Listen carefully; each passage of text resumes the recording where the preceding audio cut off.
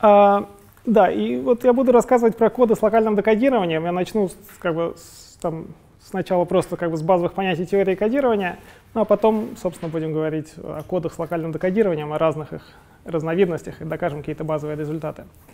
А, и а, как я написал в, описании курса, собственно, никаких знаний э, изначальных не предполагается, ну или почти никаких. То есть, но единственное, что вам нужно будет, вот, как бы я буду предполагать, что люди достаточно себя комфортно чувствуют с конечными полями, вот, что вот есть конечное поле, это конечный объект, в котором числа можно умножать, складывать. А, ну, метрика Хейминга, да, то есть вот еще, что если у нас есть там какие-то два вектора, ну, это мы уже определим даже. И пусть у нас есть два вектора а, размерности n, между ними мы можем посчитать расстояние. Вот расстояние между x и y — это просто там, количество координат,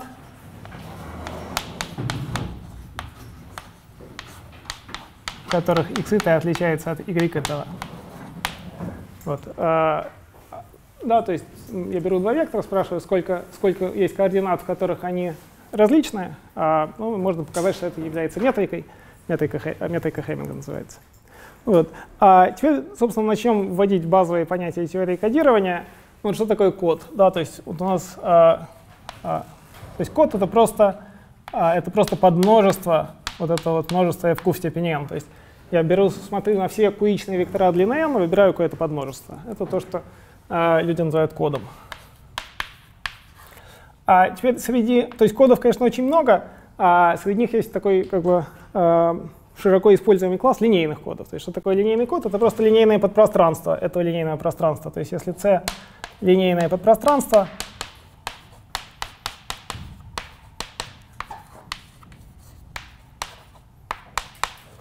то мы будем говорить, что C — это линейный код.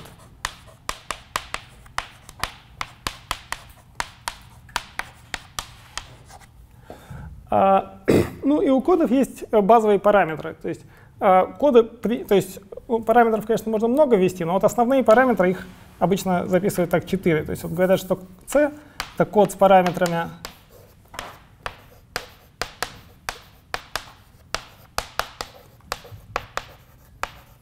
а, M, K, D, а вот так вот его пишут немножко снизу. Вот. А что, что это значит? Это значит, что... Да, то есть мы будем говорить про линейные коды. То есть это значит, что, во-первых, c это подно... Э, то есть c состоит из векторов размерности m, то есть c живет в q в степени m. Вот это наша m.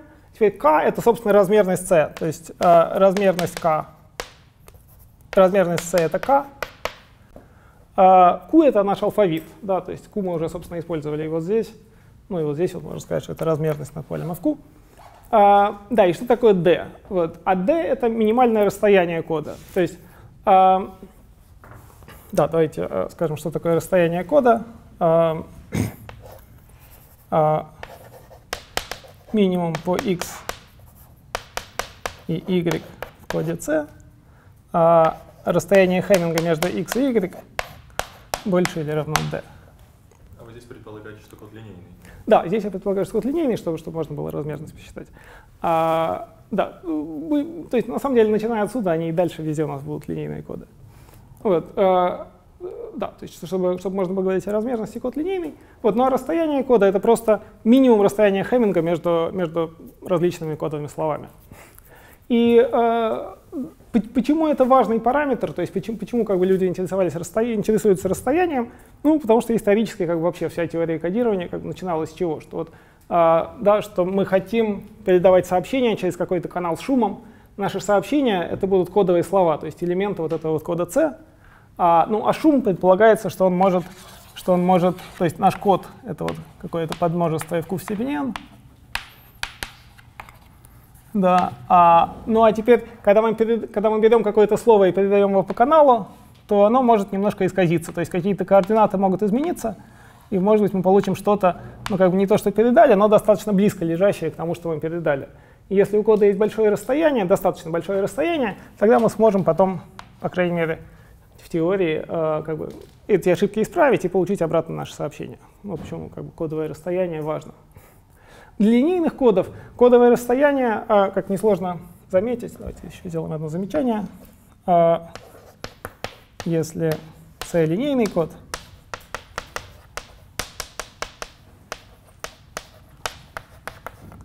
то расстояние можно определить немножко по-другому. Можно сказать, что D — это просто минимум а, по всем словам x в коде c, ну, кроме нулевого кодового слова, а, веса Хейминга вектора x. Да, что такое вес Хейминга, мы тоже его надо определить.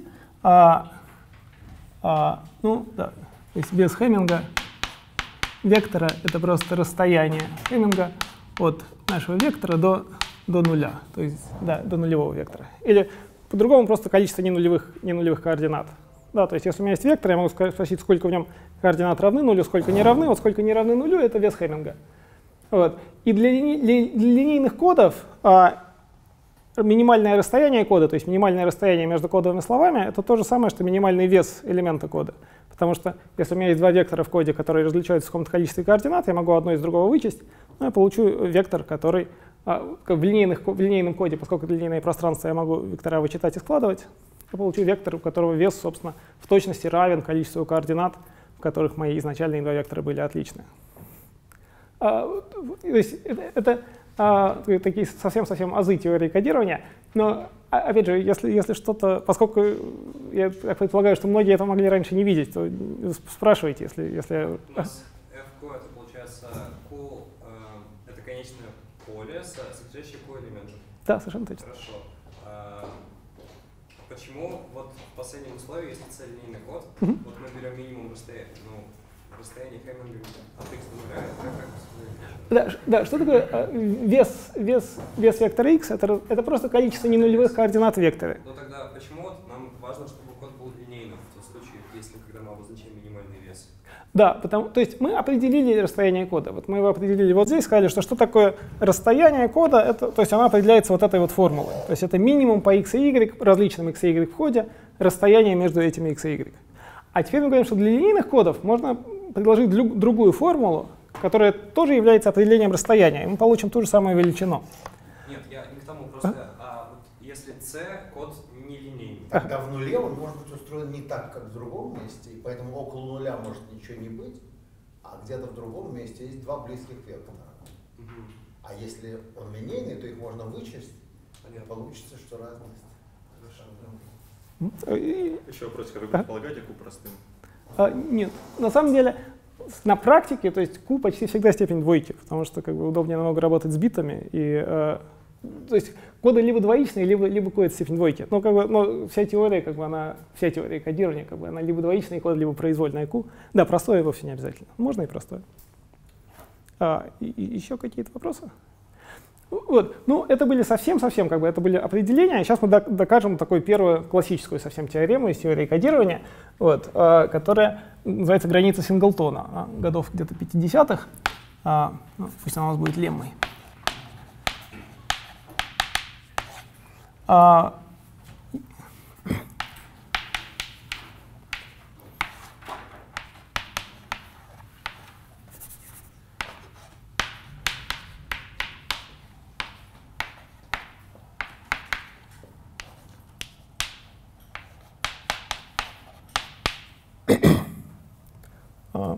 Ну, давайте скажем так.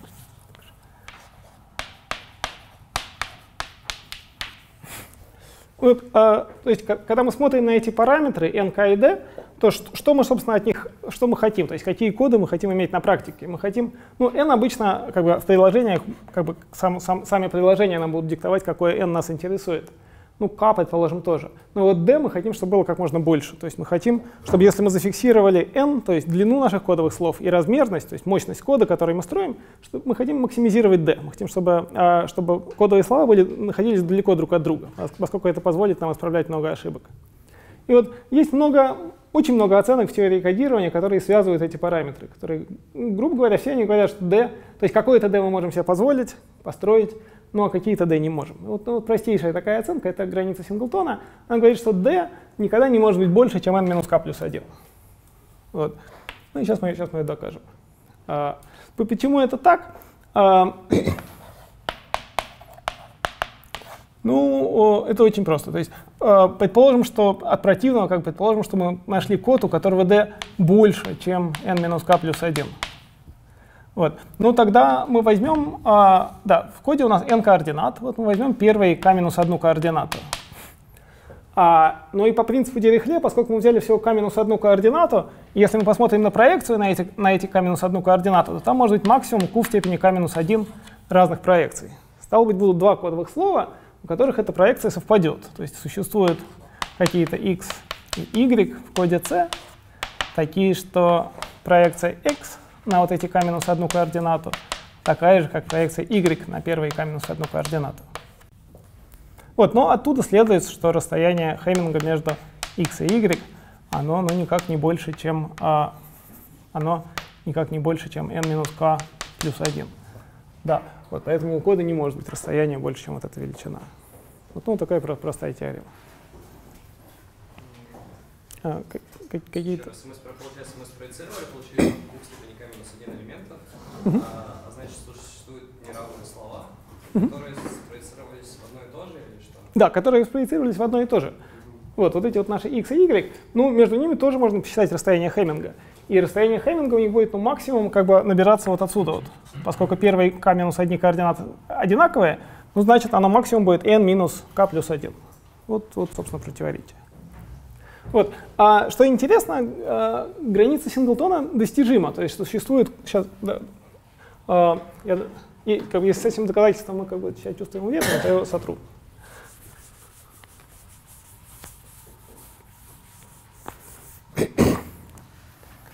А, если, да, и тут как бы, да, ну, а, ну, можно спросить, например, поднимите, пожалуйста, руки, кто это доказательство считает, что он там ну, знал или понял сейчас, просто было видно, как происходит дело. Да. Ну, очень хорошо, очень хорошо, очень хорошо. А, да, а, да, давайте дадим, а, ну нет, давайте докажем сначала лемма еще одно. Для любых k не превосходящего n, d не превосходящего, а, собственно, нет, любого k не превосходящего n,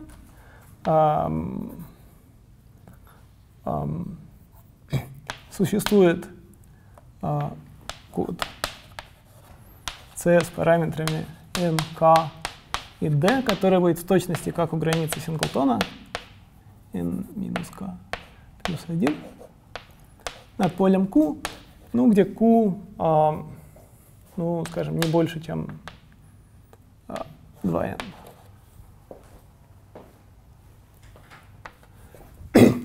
Да, то есть а, мы доказали границу Синглтона, которая говорит нам, что если мы зафиксировали длину векторов, то есть размерность n, и зафиксировали размерность кода, который нас интересует, то расстояние не может превзойти какой-то величины.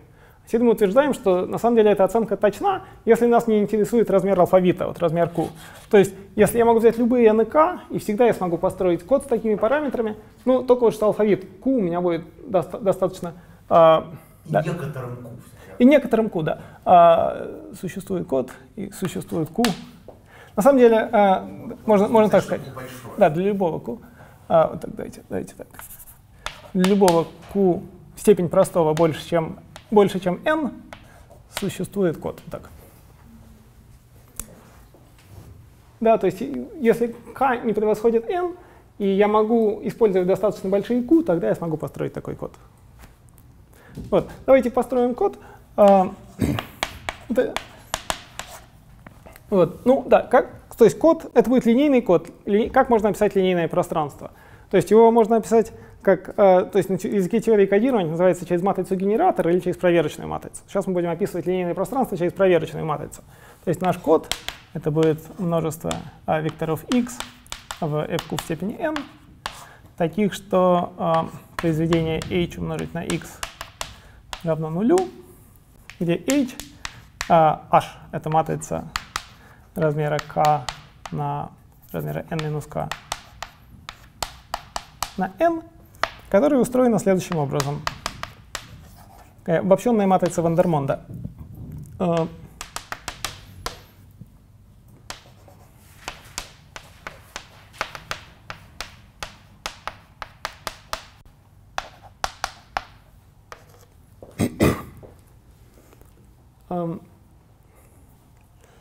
Конструкция кода. То есть, э, да, то есть я хочу доказать это лемму, то есть мне нужно построить, построить код. А код — это линейное пространство, то есть я должен построить линейное пространство C, которое будет жить вот в f в степени n.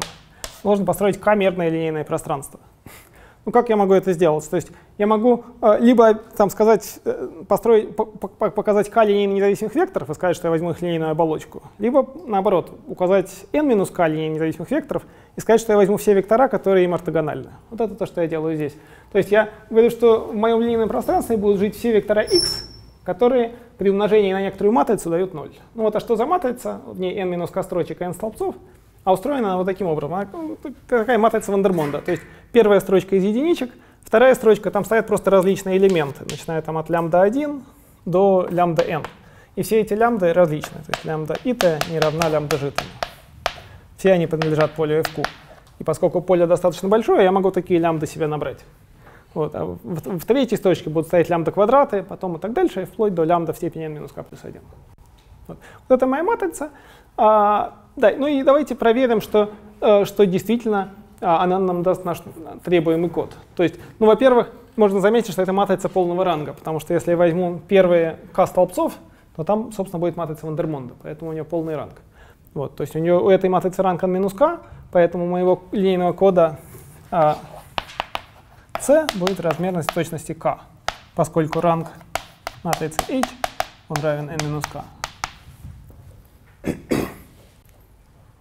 А, хорошо? Вот. А теперь мне нужно доказать, что вот если я возьму какие-то два вектора, которые, что в моем линейном коде любые два вектора сильно отличаются. Но поскольку мой, ли, мой код линейный, то я буду использовать это второе определение расстояния. А, я просто скажу, что в моем коде нет легких векторов. Что если я возьму вектор веса меньше, чем, веса меньше, чем n минус k плюс 1, а, да, то есть вот что мне нужно показать. Давайте здесь что-нибудь сотрем.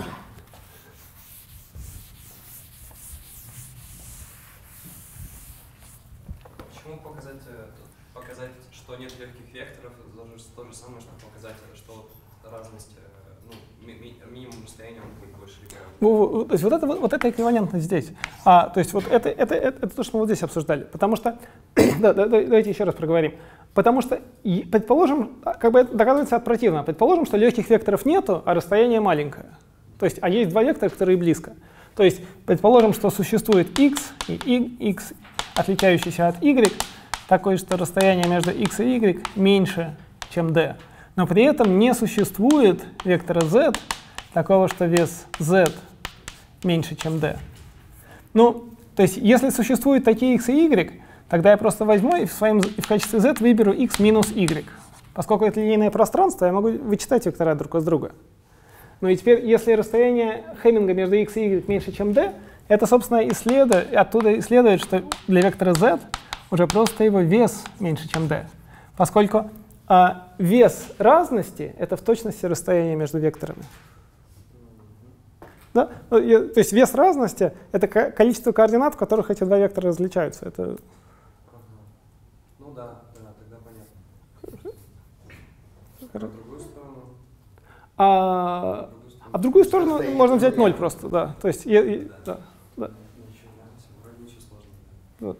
Да, то есть, ну, э, да, вот, а, но, да, но здесь мы доказываем уже а, некий, а, да, то есть здесь, здесь мы как бы предложили конструкцию кода, да, сказали, что вот, вот мы строим линейное пространство, хотим доказать, то есть и хотим сказать, что это линейное пространство, этот код, он будет обладать хорошим расстоянием.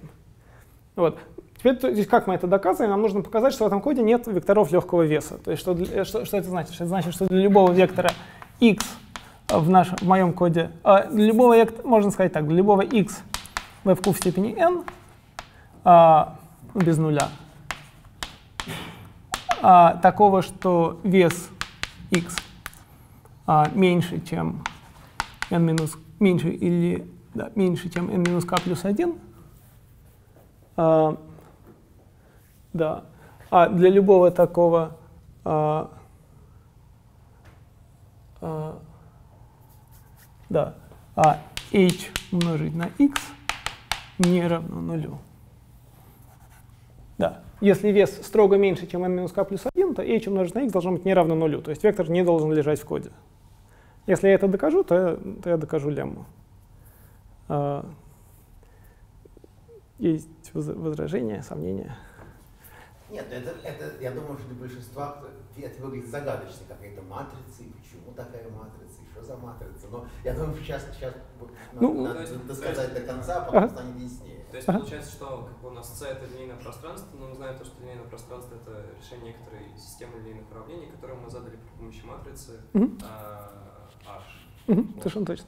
Хорошо. То есть это те векторы, которые вот n векторы для высоты n, у которых там первая строка сумма координат равна нулю. Там c1 лямбда 1 плюс там c2 равно нулю и так далее. Да, ну э, хорошо, то есть, ну, опять же, здесь, здесь, да, как мы это доказываем? Ну, от противного предположим, что существует такой x, что вот это все выполняется, что вес маленький, а, а h на x равно нулю. Ну, э, да, ну что такое h умножить на x? А, это а, h умножить на x это а, линейная комбинация. То есть это некий вектор, да?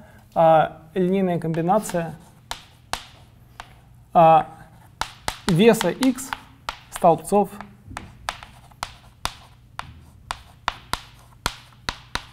матрицы H.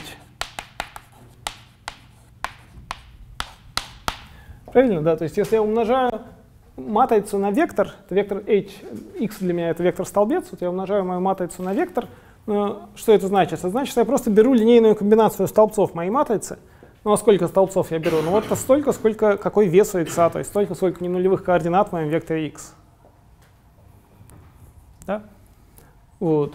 А, но а, но а, то есть Uh, да, то есть, ну, поскольку, да, что я знаю про x? Я знаю, что вес x, он маленький, он меньше вот этой величины. То есть а, нулей, нулей, получается, у нас в нашем векторе мало. Вот. А, мы предполагаем. Да, мы это предполагаем. То, что... Тогда линейная комбинация, которая равна нулю столбцов, да. содержит мало ненулевых коэффициентов. То есть это комбинация небольшого числа столбцов. Да. А в этом что-то есть Подозрительные. Да.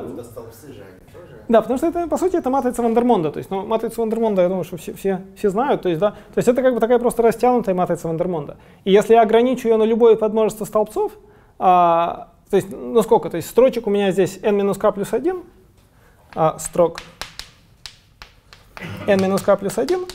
И если я ограничу эту матрицу на подмножество столбцов, которое, а, если я возьму не больше, чем n-k плюс 1, а, столбцов, то у меня получится, и пусть я в точности n минус k плюс 1 столбцов, у меня получится полноценная матрица Вандермонда, в которой столбцы линейно независимы. То есть специальное свойство этой матрицы H, которая нужна, состоит в том, что любой набор столбцов имеет полный ранг. Да. Вот это у нее такое удивительное да. свойство. Да. Ну, это, собственно, и все, все, вся, вся конструкция кода. Да? То, есть, а, да, то есть мы сказали, как, как мы строим код. Вот мы указываем, выбираем такую матрицу H, у которой а, любое подмножество столбцов, ну не слишком большое, любое подмножество столбцов мощности вплоть до n-k плюс 1 линейно независимо.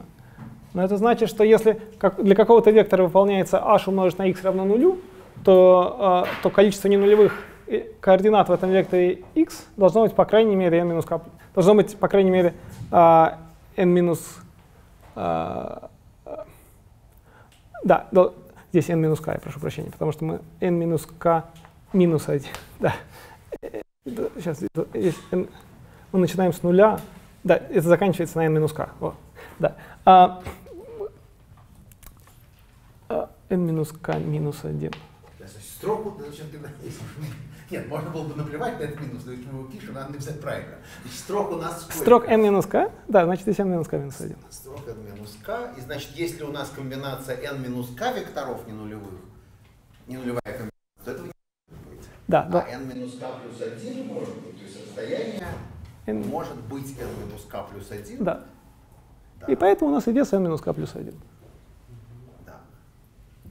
Вот, вообще, на самом деле, как бы, ну, скажем, в трехмерном пространстве нетрудно придумать, я не знаю, там, 100 а, векторов, что любые три были линейно независимые. Это нужно взять просто случайные вектора, и да. это так и будет. И, наверное, вообще, в принципе, можно взять случайные вектора и с большой вероятностью получить. Тут э, размер поля имеет большое значение. А... Нет, но если пусть поле большое достаточно. Да. Но вот то, что мы берем такую матрицу, это там важно там, для декодирования или еще свойств, или, или, или просто нам сгодилась бы любая матрица, у которой любой минор максимального размера независим. А, для, как бы для этого свойства, которое мы доказываем, сгодилось бы. Да. А, нет, нет, здесь-то да. да. Э, эти, эти, эти, эти коды называются кодами Рида Соломона. То есть классические коды, у которых масса свойств, и, конечно, используется намного более тонкая структура этой матрицы. Нет, то есть, то есть ну, а вообще-то обычно все-таки по-простому объяснять, что это просто графики многочленов. Это то же самое. Несмотря это, на то, что как бы транспонирует. Это, это, это эквивалентно, да. да. Это просто другой взгляд на код Арида Соломон. Ну, не лучшее свойство, а вот если скажешь произвольную матрицу, где столбцы независимые, то декодирование уже не гарантировано. Нет, как бы оно, оно возможно, ну, просто алгоритмически может быть. Да, да. да. А, вот, э, да, то есть вот это вот такая лемма. Да, ну, как бы здесь важен размер поля. То есть такие матрицы, чтобы матрицу с таким свойством, чтобы любой минор максимального размера был линейно независим, был, был не вырожден, э, над, над, над конечными полями их строить трудно. И как бы э, и построить такую матрицу с большим количеством столбцов, э, на самом деле, э, то есть с таким количеством столбцов, как здесь, э, э, в каких-то случаях это единственная матрица вообще, там эквивалентность есть даже. Вот, э, но да. Ну, то, ну вот, вот это наша лемма просто, что э, есть граница Синглтона, которая дает верхнюю оценку на расстояние, и если мы позволяем себе использовать большое поле, то мы ее можем достигать, в частности, вот такой конструкции. Хорошо. Можно доказательство продолжить? А, да, мы вроде закончили. Ну хорошо, да, да, да. Да, а, а, да, да, но а, а, мы хотим сказать, что если вес у x маленький, тогда произведение h на x будет не равно нулю. Да? Теперь, если предположим, что существует x, у которого, h, у которого вес маленький, а произведение равно нулю, ну тогда h умножить, да, тогда мы просто подумаем, что, так, что это за произведение. h умножить на x, можем про него подумать и понять, что это линейная комбинация не больше, чем ну, вес x, но вес x мы как бы уже сказали, что это такое, то есть это а, ну, не, не больше, чем n минус k, а, n минус k столбцов, да? не больше, чем n минус k столбцов матрицы h.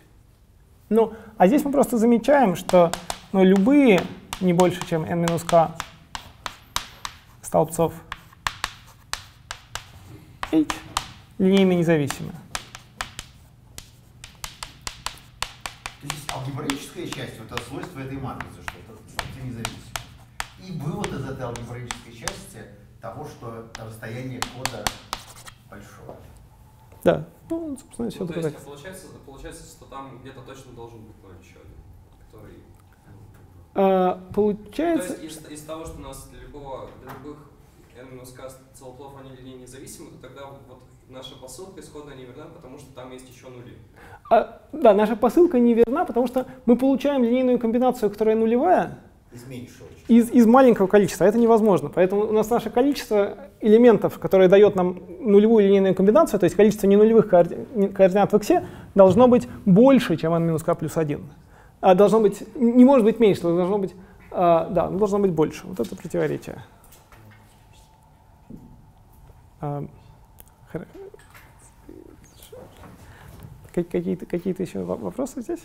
Ну чего, кто считает, что он это рассуждение понял? Ну, замечательно, спасибо. А, да, ну давайте еще какие-то простые, простые свойства, а, парочку простых свойств кодов докажем, а потом начнем немножко говорить про локальность.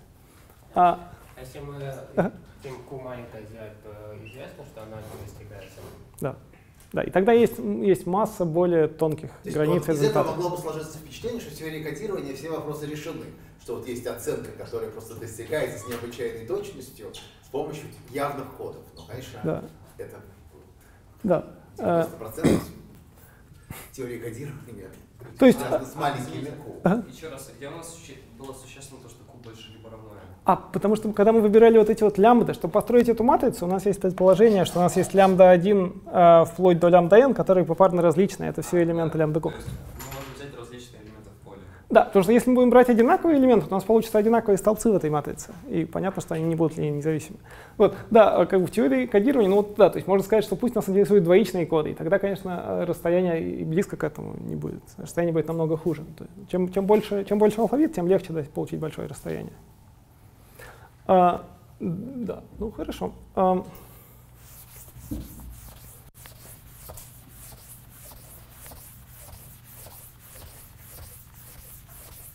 Двоичный алфавит наука вообще даже не знает, где проходят границы, и очень страдает по этому поводу. Да, ну это боль- большая Можно задача. Там, не знаю, там, типа, какие-нибудь а- аналогии, потому что ну, у нас n это в человеческом языком это длина кода какая-то. Длина, это, длина это алфавит получается. И мы сейчас показали, что если у нас а, алфавит больше, чем длина, длина слов, которые мы кодируем, то тогда у нас все хорошо. Мгм. Как бы, и достигается точная оценка длины. Мгм. Ну, отлично. Это пропускная способность кода, это как бы отношение k делить к. У нас есть k, k этих ку- куичных битов, так сказать, которые мы хотим передать, а передаем мы их n такими же битами.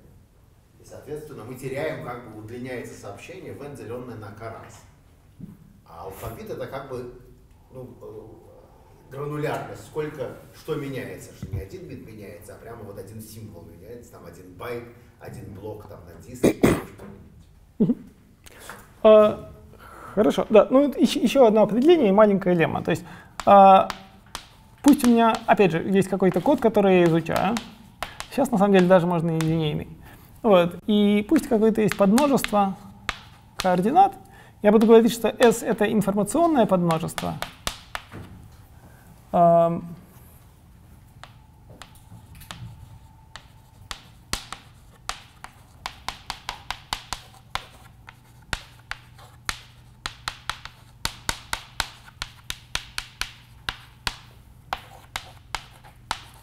если мощность проекции на это подмножество, она в точности равна а, а, мощности кода. Да, пусть, пусть будет так. А, да, то есть, да, у меня есть код, вот, и у него он живет на этих n координатах. Я беру какое-то подмножество координат, называю его s, и я могу рассмотреть проекцию на это подмножество, то есть взять как бы, и из каждого кодового слова все остальные координаты выкинуть. Вот. И я буду говорить, что подмножество информационное, если, э, если, если, как бы, если при этой проекции не потеряна никакая информация. То есть если я по, по проекции могу, могу восстановить обратно кодовые слова. Вот. Ну, вот как бы определение информационного подмножества. Вот. А, да. Ну и такая маленькая лемма.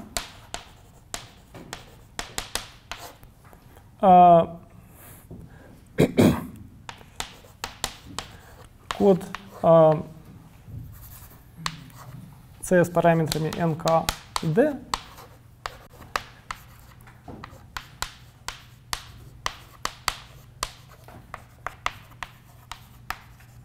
Да, э, да, еще э, что, что здесь нужно было сказать. То есть, вот эти, то есть, когда мы доказали границу Синглтона, а,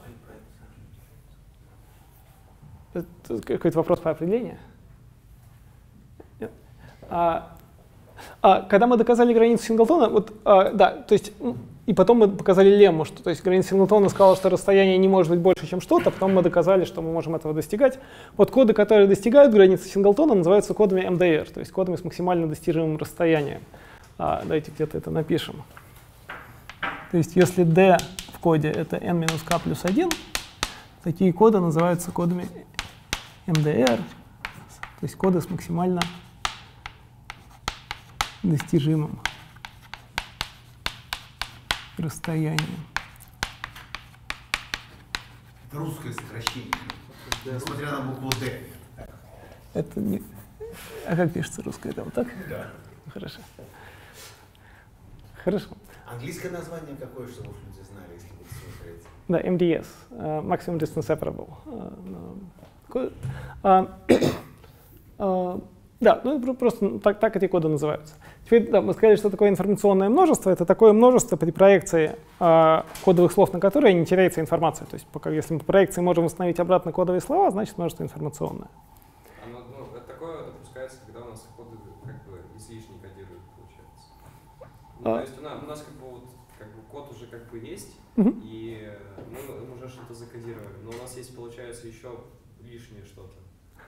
Оно- ничего не закодировано. У нас пока есть просто код.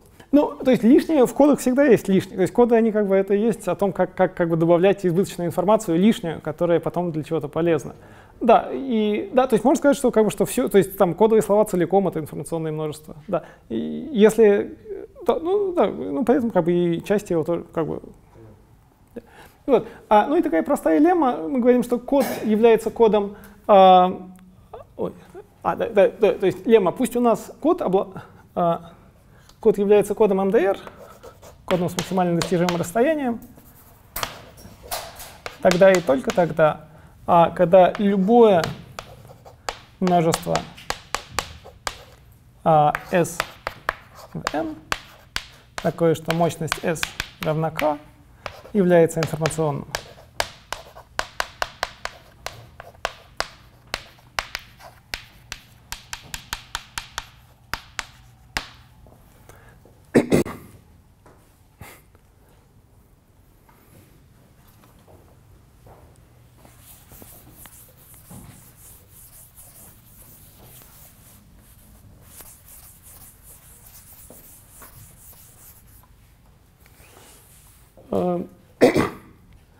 Да, то есть, ну вот, что вообще можно сказать про информационные множества? Пусть у меня есть код с параметрами nk и d, здесь какое-то d, я не знаю, то есть, да.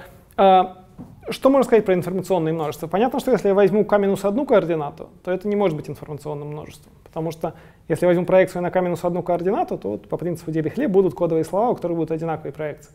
Поэтому проекции на k минус одну координату и меньше, то есть множество из k минус одной координаты и меньше не могут быть информационными но множество из k координат информационные в принципе могут быть.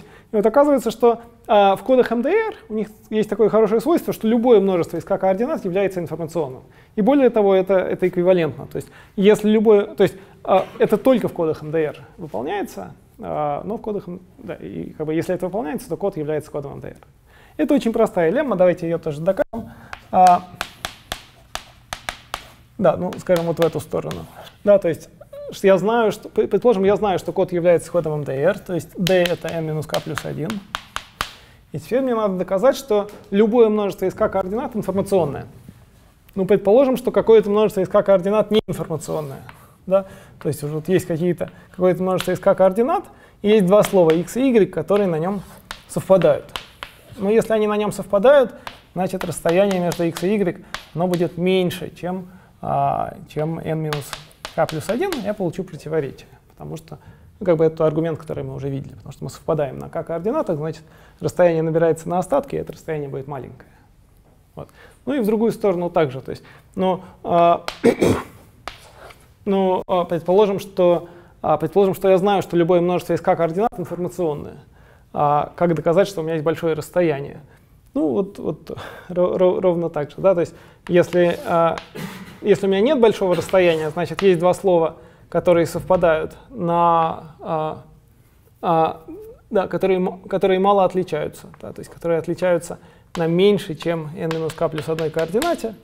А, стало быть, они будут совпадать на каком-то большом множестве, и оно, и оно не будет информационным. Оно будет совпадать на множестве мощности k, и оно не будет информационным. Здесь, здесь убедительно, не, не очень. Ну, трудность понимания в том, что как бы в хасте ничего не происходит, только да. вот да. одно и то же самое начало. Да, да, это совсем, совсем легкое доказательство. Да. А, хорошо. А, ну, на, на этом с, как бы с, с такими с совсем классическими азами теории кодирования мы начали, и я буду, начну говорить про, про, про собственно, локальность. А, да, про а, локальность. А, да, ну давайте начнем с определения. А,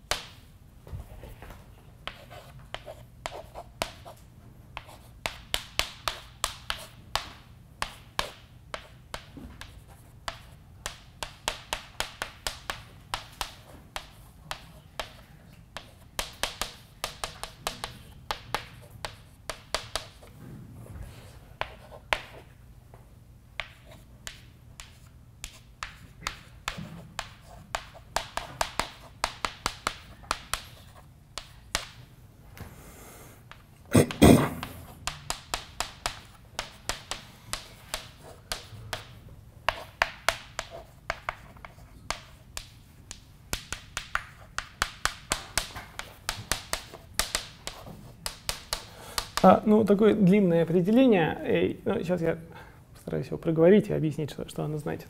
Вот. а, да, ну вот это можем уже стереть.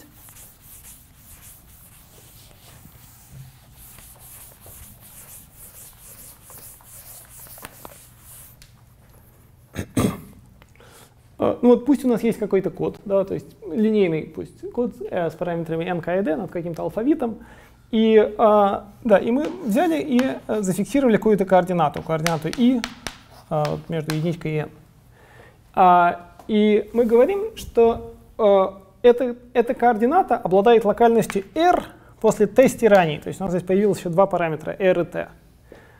Если что-то выполняется. То есть что, что, что это значит? Да, то есть, а, ну, во-первых, что, что такое стирание?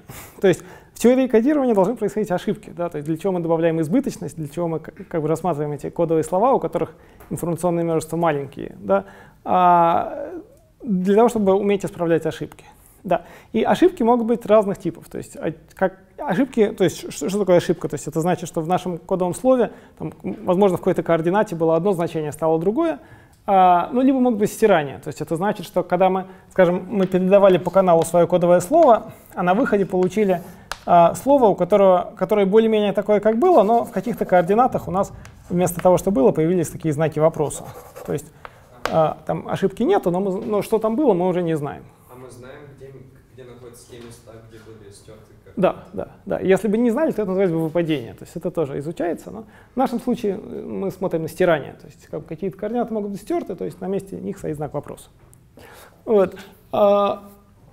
А, то есть, да, что мы говорим здесь? То есть вот у нашего кода есть какая-то координата, которая нас интересует, и эта координата обладает таким интересным свойством, что если, что если в кодовом слове было стерто t-координат, а, возможно, включая нашу, если какие-то t-координат были стерты, а после этого мы получили это испорченное кодовое слово, и теперь мы не хотим его все восстановить, как оно было, а мы хотим только восстановить вот эту вот итую координату.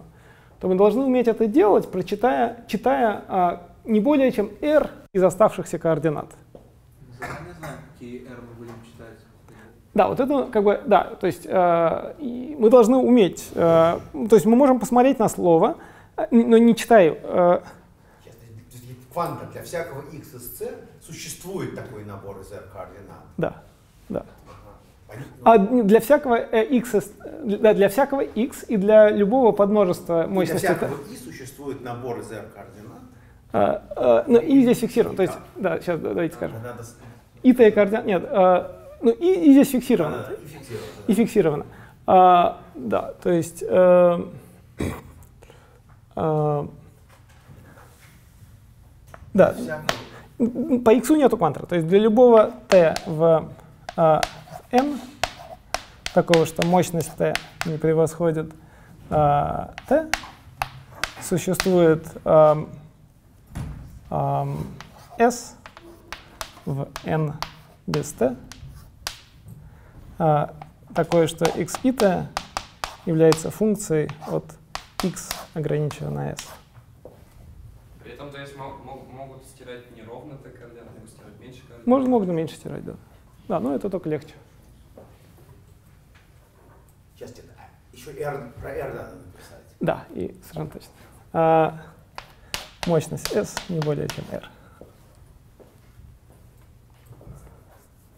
То есть, э, как бы нам стерли, получается, t-координат угу. или меньше, и мы сейчас как бы хотим предоставить э, такие r-координат, которые, угу. вот, которые можно восстановить, а, ну, которые, они должны быть не стерты. Которые, да. не, которые не, не стерты. Да. И вот э, тогда как бы, и, и, точно узнать. да, и по ним точно узнать и. То есть для любого множества t, то есть для любого множества t стираний существует цел, не, множество, которые не испорчены, множество, которые, которые, которые, которого эти стирания не коснулись, по которому мы сможем всегда восстановить эту координату. То есть вот R это считается, что ну, из, тех, которые не стерты. Да. То есть из них уже, из этих R уже ничего не стерли. Да, да. И это минимальное количество этих координат, А, ну, это знаешь, как э, то есть, нет, как бы, то есть, может быть, то есть, может быть, это мно- а, то есть, может быть, есть какое-то множество по мощности, да, то есть, здесь мы пишем меньше или равно, то есть, оно может быть и меньше. А, То есть локальность это не, не свойство, а не одно число, а имеет локальность да, то есть, если, если есть, локально. да, если есть локальность 2, то есть локальность и 3, и 4, и 5, да, то есть, она такая монотонная. А, да, э, потому что мы потом будем говорить про локальность кода, и мы будем брать максимум по всем координатам, поэтому, как бы, да, поэтому, да, то есть, то есть, есть какая-то, конечно, минимальная локальность, но, как бы, если есть минимальная, то все остальное тоже считаем, что есть. То есть как бы локальность это такая, такая как бы булевая функция, которая имеет r и t параметры. А, То есть Он зависит от r и от t. а, Ну, И, от, да. и еще. и, от, Ну, и от и, от, и от и, да. И от, и от кода, да. Ну, Да, как бы идея такая, что если у нас в RAID массиве испортилось а, T-дисков, то любое содержимое любого из них можно восстановить, а, э, э, при этом за- занявши не более R. Так, правильно, так? да. Ну, э, да, то есть оно зву- зву- звучит очень научно. На самом деле, как бы будем изучать всего два режима. То есть будем изучать, э, нас будет, то есть э, вообще как бы можно изучать, конечно, вопрос более широко. Мы точно будем говорить о случае, когда t равно единице. О нем, наверное, будем говорить больше всего. Потом, если в конце хватит времени, то мы будем говорить о случае, когда t действительно большое, когда t это омега маленькая от n, когда t линейно растущая.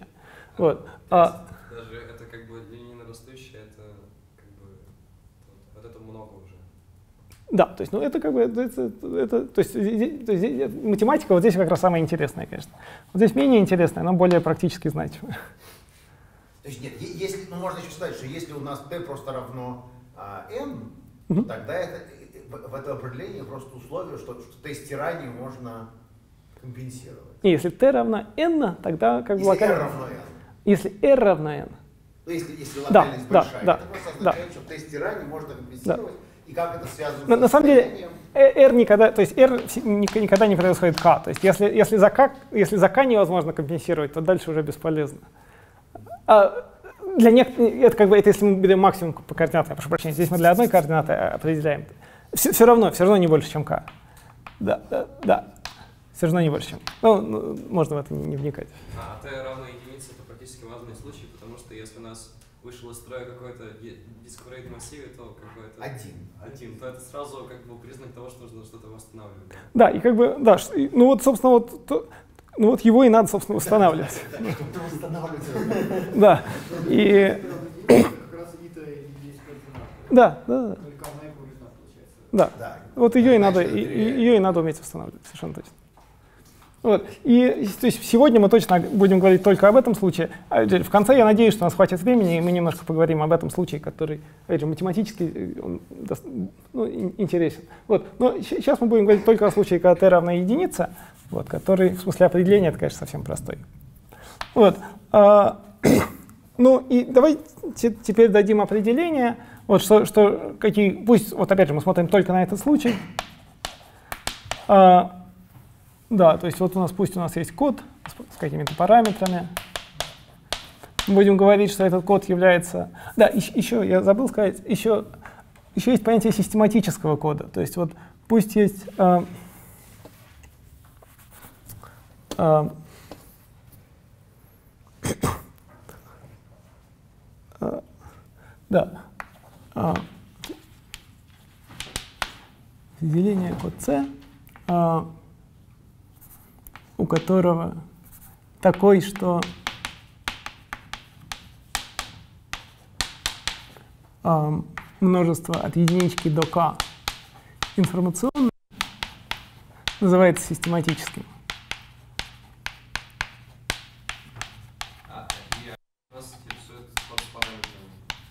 Да, ну да, просто они здесь нам не важны, да, но код, да, код с параметрами. А именно К, это та Да, самая. К, да, так что важны. Да, А, да то есть вот это а, просто еще действительно один такой термин из э, словаря теории кодирования. Э, пусть у нас есть произвольный код. Вот, если у нас первый К координат можно взять как информационное множество, то мы говорим, что код систематический.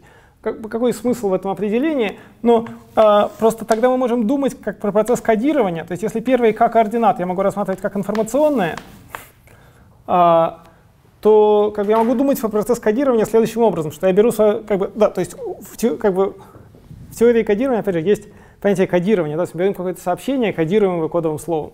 То есть добавляем к нашему сообщению избыточность. То есть ну, что- здесь как бы я беру сообщение и просто его записываю, вот, вот это мое сообщение, ну а потом добавляю какие-то какие дополнительные, а, дополнительные символы. Вот это моя избыточность. Вот поэтому код называется систематическим, потому что как бы, э, процесс кодирования он такой явный в каком-то смысле, что я беру сообщение и добавляю к нему избыточность. Вот. Если у нас имеется К дисков, и мы хотим сделать из них рейд массив, Мгм. эти диски переписывать не надо. Да, по крайней мере, их а на переписывать. остальные диски надо что-то такое записать. ну, Да. Да. Да. А? Что такое рейд? Да, рейд, э, а, я, я- я не говорил. он- Не-не-не, Второй раз уже. Это- это- это не я. Да, да. Нет, нет, я, я, я считал, что есть программисты, которые могут не знать, что такое там, систематический код, но знают, что такое RAID error. Но массив, ну, если, если храня- на дисках хранятся данные, и если один испортится, то содержимое можно восстанавливать по остальным. Ну, это понятно. Ну вот, это, это- рейд, что означает? А, Inexpensive disks. А, э, избыточный массив недорогих дисков. Ну, это, э, на сам термин. Вообще, если вы придете покупать RAID контроллер, никто не спросит, что такое RAID. Они прямо понимают. это. Ну, сленг используется, действительно, да. А, А, Да. Нет, если- Но в, в это, в это можно не вдаваться. То есть это к курсу отношения как бы в на- напрямую не... не, не- то есть... Хор- Хорошо. А, вот это наше определение систематического кода. Да, и теперь, а, теперь мы, собственно, а, теперь вернемся обратно к локальности. То есть пусть у нас есть а, систематический код а, с параметрами nk и d,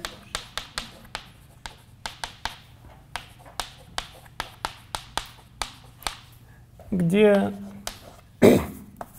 да, ну, здесь еще будем обозначать, а, ну, да, где а,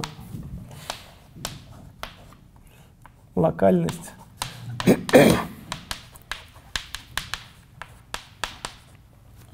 Любой координаты.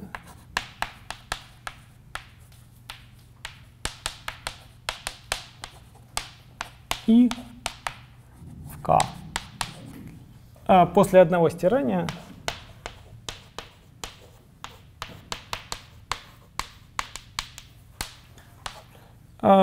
не больше, чем r, то будем называть, то наш код будем называть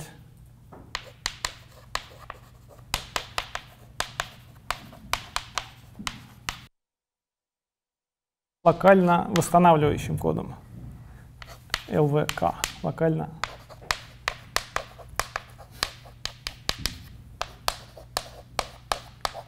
Восстанавливающий код. Вот.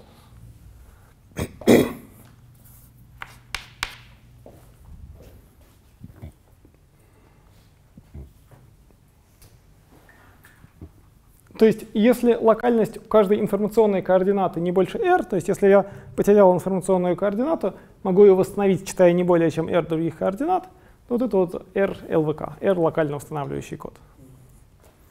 Эм, По-английски это ЛВК называется как?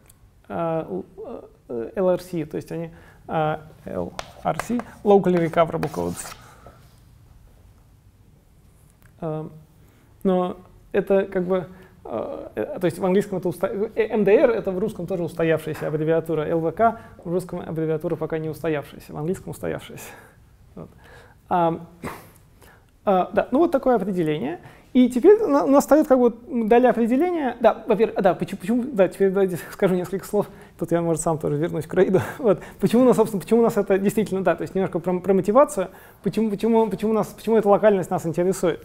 Ну, действительно, потому что а, а, потому что коды с такими свойствами используются в больших распределенных системах хранения данных. Да, то есть, если мы хотим, то есть можно думать, не знаю, про center, то есть, и, то есть как, как, как там хранятся данные. Да, то есть, если там есть какой-то большой файл, который мы хотим надежно хранить, ну, мы можем его скопировать на несколько компьютеров. Но это как бы это хорошо, но это будет надежно, но, но, но очень много места используется, потому что ну, что же мы файл много раз копируем. Вот. А можно использовать, вот, а, да, можно использовать код Рида Соломона, да, то есть сказать, что вот у меня есть большой файл, я его порежу на сколько-то кусочков, сгенерирую сколько-то избыточных кусочков, вот, а с помощью кода Рида Соломона разбросаю кусочки на разные машины и буду хранить.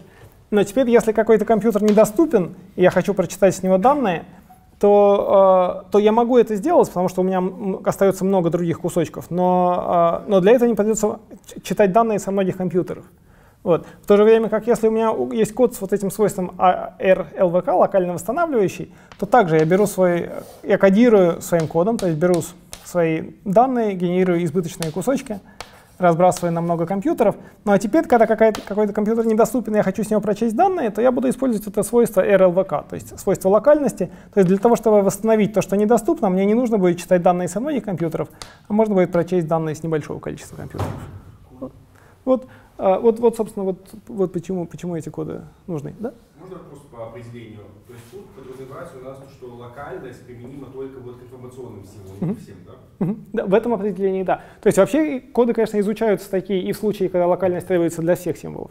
А, ну, то есть мы сейчас этого делать не будем, но, но это совершенно так же, как, то есть в литературе это также, также исследуется. Зачем линии у нас локальность для всех сейчас мы ограничили локальность только для информационных. Только для информационных. Нет, здесь, да, здесь мы говорили для, здесь мы говорили индивидуально, да, то есть мы говорили про индивидуально про любую координату. То есть мы можем сказать, что у такой координаты такая локальность, у такой такая, а здесь мы потребовали, чтобы у всех информационных не больше, чем r. Вот. Хотя между ними может быть разница между информационными, на инф, неинформационных что-то свое может происходить. Вот. А, да, то есть вот, вот это все с мотивацией. И, да, но тут сразу же встает тот же вопрос, как бы, который вот у нас был, когда мы доказывали границу Синглтона. Да, то есть там мы что сказали, что у нас есть, а, есть n, есть k, и был вопрос, ну вот, собственно, а какое у нас может быть расстояние. Вот. Ну, а здесь у нас параметров стало немножко больше. То есть у нас также есть n, есть k, есть r, потому что мы теперь изучаем вот коды со свойством локального восстановления, вот эти r из RLVK. Ну и тут также вопрос, ну а какое может быть расстояние, да? Ну или можем сказать, что мы знаем расстояние, какая нам нужна, какое нужно n. То есть ну, вот, там, также нужна какая-то теорема, которая бы все эти параметры между собой связала каким-то неравенством. То есть что мы можем достичь, что не можем. Сейчас не очень понятно. Если у нас есть, если требование восстановления касается r-стирания, угу то, казалось бы, D нам уже не важно. Да, нет, вот это, да, D все равно важно, потому что, а, опять на, на практике происходит следующее, что если одна машина недоступна, мы хотим уметь быстро восстановить данные, как бы читая данные с не более чем R машин, но если происходит что-то нехорошее и недоступно много машин, тогда как бы уже, пусть медленно, но мы все равно хотим уметь восстановить все. Вот. И для этого нужно расстояние. А, то есть это как бы другое, другое Да, то есть, то есть мы хотим, чтобы, чтобы, чтобы было и то, и то. Да. Мы хотим, чтобы, чтобы если недоступна только одна машина, то есть одно стирание произошло, мы можем восстановить то, что потеряли быстро.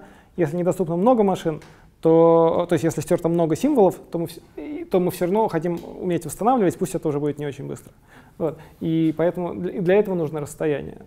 А, Чуть-чуть пораньше. Вот, если у нас есть код, мы можем из него сделать систематический перерисовав координаты или это неправда? В линейном коде всегда можем.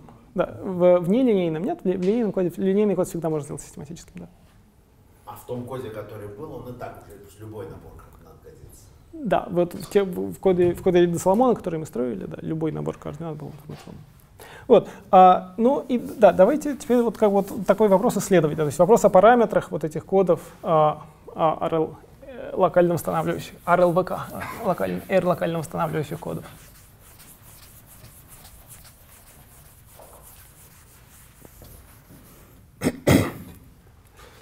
И здесь э, я начну с конструкции. То есть в случае с границей Синглтона мы сначала показали несуществование, а потом, а потом конструкцию. Здесь мы сделаем наоборот. То есть сначала будет конструкция, а потом э, несуществование. А, да.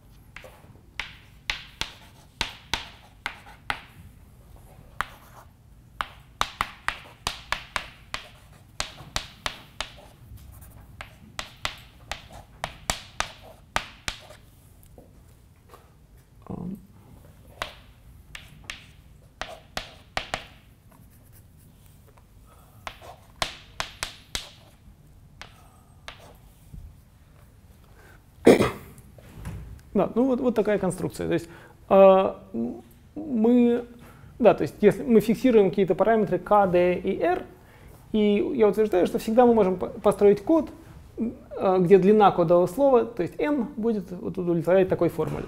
То есть если в кодах Рида Соломона у нас было, а, у нас было n это k плюс d минус 1, то здесь нам понадобится большее d, то есть понад, понад, больше m, то есть большая избыточность. Но может быть не так намного больше. Только надо это самое d, там, d минус 2 там. Там d минус 2. А не d минус r. d минус 2, да, да, это d минус 2, это tr. Это d минус 2. Ну, я...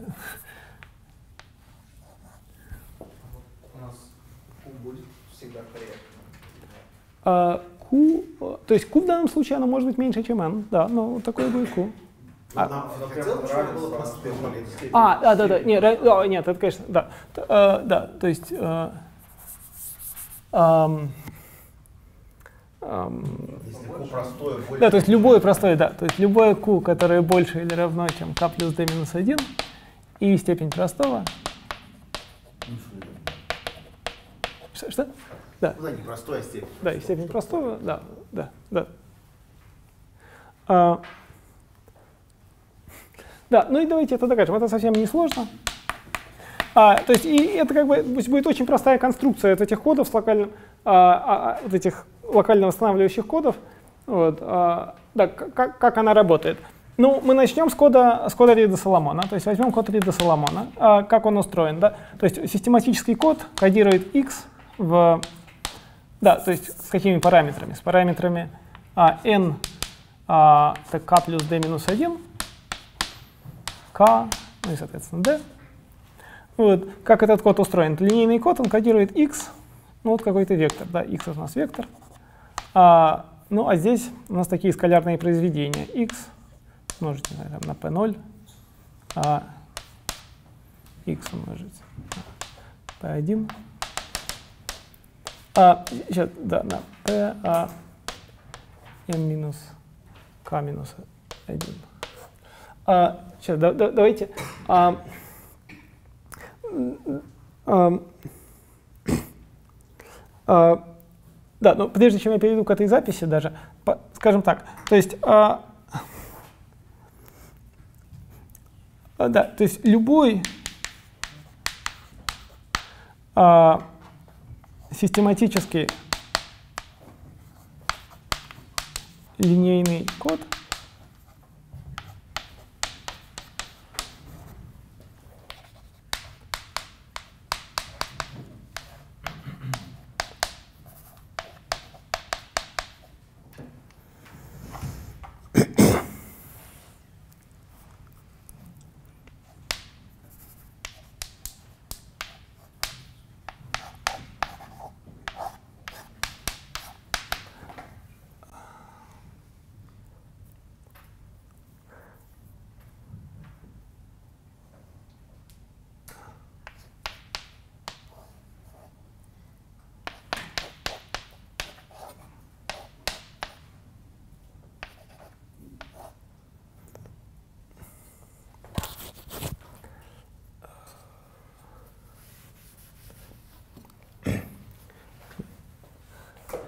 Ам, О, да, ну, да, давайте начнем с этой части. А, то есть, да, что, что, что, что такое, так, как мы говорили, что, что такое линейный код? То есть это просто линейное подпространство. Да? Линейное подпространство, а, то есть линейный код, да, линейный код C это просто какое-то линейное подпространство f в степени n, где размерность этого подпространства равна k. То есть если мы говорим про коды размерности k. Ну как можно описать линейное подпространство? То есть его можно описать, как мы, как мы делали, когда мы э, доказывали, когда мы строили код Рида Соломона, можно описать через, через систему линейных уравнений, сказать, что у нас есть там, не полностью определенная система линейных уравнений, рассмотреть ее множество решений. А можно описать через базис, то есть сказать, что ну что такое наш код? То есть наш код это просто вот, линейная оболочка какого-то количества векторов. То есть в этом случае, как описывается наш код, то есть мы можем сказать, что, э, да, что наш код э, c а, это просто множество всех а, векторов вида x умножить на мат на g, где x это вектор в в степени k, а g это матрица а, размера k на n. Да? То есть ну, вот, люб, любой код мы можем так описать, вы, выбирая любой, любой линейный код размерности k, мы можем описать таким образом, выбирая соответствующую матрицу G. А матрица G это матрица скалярных произведений или нет? А, ну, это ее называют матрица генератор, то есть э, скалярных произведений. В этом случае, то есть если мы думаем про процедуру кодирования, то она будет, собственно, состоять из вычисления там, n скалярных произведений. А, но... Вообще, вообще говоря, нет, она как там, Ну просто какой-то генератор, то есть как бы а, Ну здесь пока написано, что такой, да. просто какая-то матрица размера k на n. Да, да, то есть мы сейчас говорим про произвольный код. Как бы для произволь... То есть ну, любой линейный код можно описать, вы, выбрав какую-то матрицу G. То есть для, для каждого кода будет много таких матриц. У нее строки длины n, да, ну или там что у нее длины n, там, должно образовывать базис в этом подпространстве. Да. Мы берем в нашем коде, выбираем, которое подпространство, выбираем базис, и дальше любое кодовое слово является линейной комбинацией этого базиса, ну, что в терминах матриц означает, что оно получается умножением на матрицы на какие-то какие коэффициенты. А там линейная, линейная зависимость строк в этом требуемо уже или нет? Ну, это получится не- необходимо. То есть если мы нач- начинаем с кода размерности k, то в этом случае, да, чтобы его описать такой матрицей, у нее, у нее строки будут независимы, потому что и, и- и на- А, ну да. Да, да, линейные строки будут независимы. Теперь, если код, э, э, да, да, теперь, э, если код систематический, э, то, э, да, Э, да, то есть если код систематический, э, если C систематический,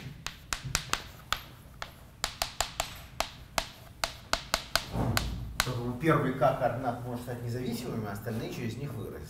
да, А, то есть у нас размерность C поле изначально было FQM, и вот мы как бы описали это все как э, линейную оболочку вот этого подпространства. э, э, Ну просто все FQ в степени n это тоже это тоже линейное пространство. да. А, и вот получается мы выделили в нем тоже пространство, которое раньше мы задавали его как типа всей матрицы, то есть ранг Как решение, Да. как ядро линейного оператора, это Да. как образ. Да, теперь как Да. образ линейного а оператора. теперь, мы, а теперь мы взяли вот только то, что только те вектора, которые необходимы для того, чтобы писать C. А, Нет, они в том случае были необходимы. То есть сейчас мы берем вектора из C, а там мы брали вектора и ортогональные C. А, но там мы лишних векторов не брали. Там мы брали n-k вект- ор- ортогональных векторов, чтобы описать код размерности k. А здесь мы берем k векторов, собственно, из C, чтобы, опис- чтобы описать C. Просто др- другой способ описания линейного пространства, но который в дальнейшем нам будет... В предыдущей независимые переменные, которые x, и зависимые, которые выражаются через независимые. Да, ничего такого. Да, то есть... а, а, да, да, давайте еще раз, еще раз. То есть к, чему- к чему я веду? Я веду к тому, что я могу любой линейный код систематически описать вот таким вот образом. Вот это та запись, которая мне сейчас нужна. Вот. И что, что он кодирует вектор x следующим образом. Берем, берем, переписываем вектор x, а потом переписываем несколько, а потом записываем, сколько нам нужно скалярных произведений. Вектор x на, на что-то, потом опять вектор x на что-то, вектор x на что-то. То есть я хочу сказать, что любой, любой систематический линейный код я могу таким образом описать. Что, э, да, что систематический линейный код я могу описать следующим образом, что я, как бы, что я беру сначала какой-то, что, да, что я беру вектор x, переписываю его просто, потом записываю его скалярное произведение с, там, с, с n-k векторами. Вот, и, и что я всегда могу так сделать. В частности, могу это сделать для Кударида Соломона.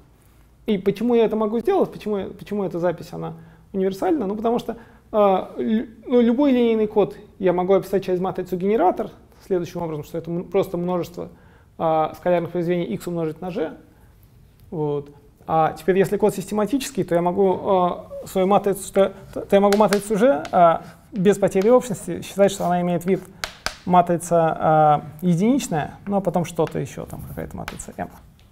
Вот. Ну, и тогда мои столбцы матрицы m я могу использовать как эти вектора p. А можно, как бы у нас у вектора x изначально размерность n, то есть там- Размерность k. Вот в этом случае у вектора x размерность k.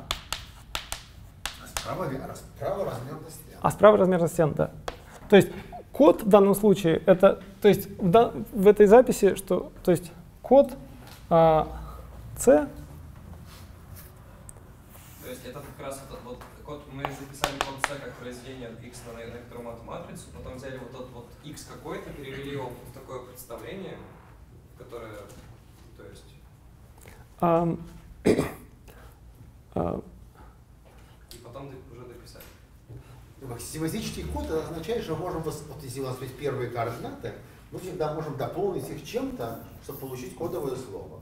Но поскольку код линейный, то это что-то, чем мы дополняем, оно однозначно линейно зависит от этих самых первых координат. Вот это прямо написано.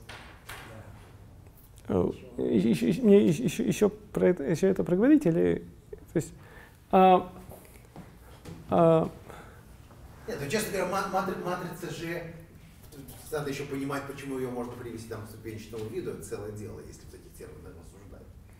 Это немного запутывает народ, да, может быть, но, но, но, но- но так геометрически это быть понятно. а, ну да- да- давайте я попытаюсь, попытаюсь это проговорить еще, еще раз. Вот. А,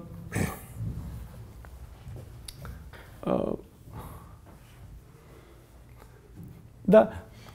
А, то есть, ну вот я возьму а, да, то есть вот пусть у меня есть произвольный линейный код C а, с параметрами там k и d. А, я могу его записать как x умножить на g, где x пробегает все и в куб степени k, а g это матрица, а, g это матрица размера k на n. Просто потому что любое линейное пространство можно описать таким образом. Вот. А теперь, поскольку, а, поскольку c систематический, да, ну такое длинное рассуждение получается, да. Поскольку c систематический, а, то оттуда следует, что g, ограниченное на первые k столбцов, а, имеет полный ранг.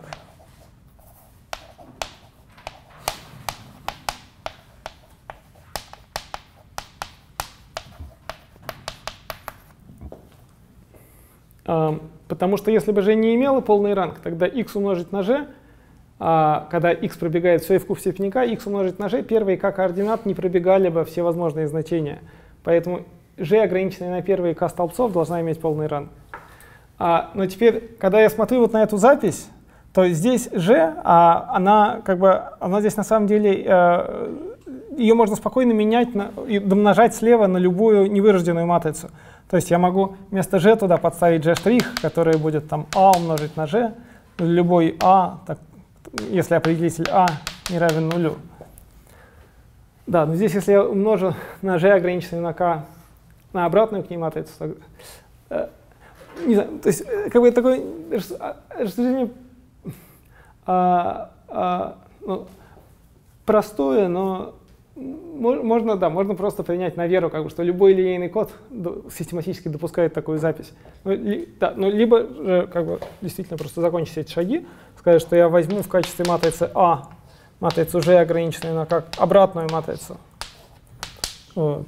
И в этом случае а, а, у меня будет матрица G', которая уже будет иметь хороший вид. То есть будет единичная матрица, ну и какая-то остаточная часть. Но и в этом случае понятно, что запись x умножить на g', а, она, собственно, уже синтаксически эквивалентна вот такой. То есть, а, ну, То есть мы доказали то, что теперь у нас получается как раз такое. Можно взять матрицу вот хорошего уже вида, Да, что мы можем, мы можем любой, а, то есть любой линейный, любой систематический линейный код допускает вот такое вот описание. То есть для любого систематического линейного кода а, существует, да, давайте это утверждение запишем просто.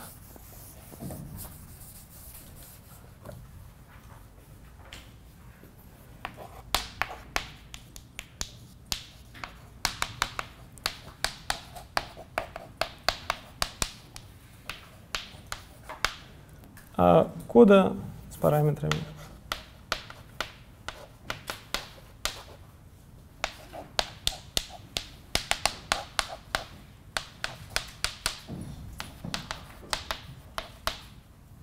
такие, что c можно описать следующим образом. А, да, то есть а, такие, что